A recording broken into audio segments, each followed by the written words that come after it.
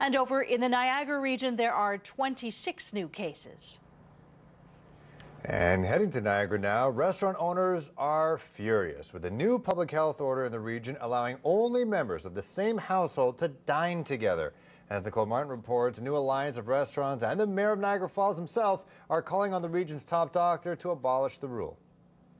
Industries that are being crushed economically have just lost Christmas. The order issued under Section 22 of the Health Protection and Promotion Act will require restaurant, bar, winery, brewery, and banquet hall staff to collect additional information from customers.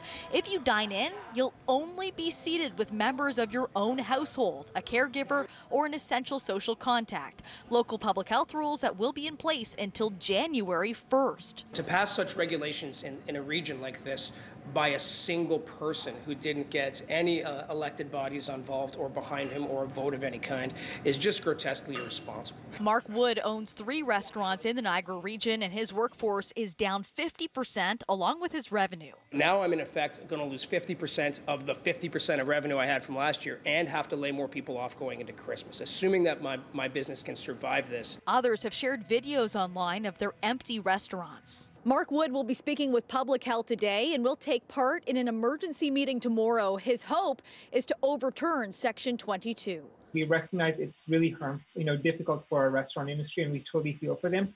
But we're of course dealing with a pandemic. But Dr. Mustafa Hirji, the acting medical officer of health who issued the new order, says evidence guided the decision making. In the last six weeks, we have uh, traced the spread of COVID back to parties at 15 different restaurants. So it absolutely is occurring when people dine together at a table in a restaurant. Dr. Hirji adds that they aren't seeing a spread of the virus between tables or from staff to the patrons. It's really about the group who congregates together at a table. We need to make sure that everyone in the building, we know their name, their address, their number, the time they walked in, the time they walked out.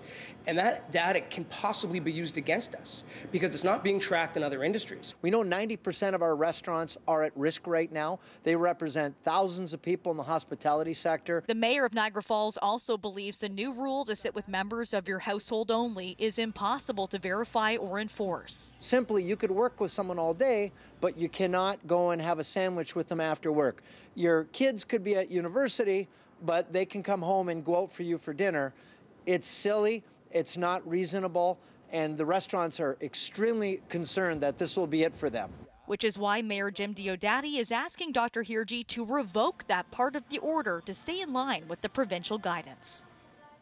But Dr. Hirji told us that the province has been in talks of potentially moving Niagara into the red zone. And he says they're trying to avoid that at all costs because moving from orange to red would lower the total number of people allowed in a restaurant to just 10, like Hamilton and Halton are currently experiencing. Meanwhile, there's a new group called United Hospitality Niagara, and they formed a petition online in hopes of revoking Section 22. And so far, they have nearly 3,000 signatures, Taz. All right, thank you so much, Nicole Martin.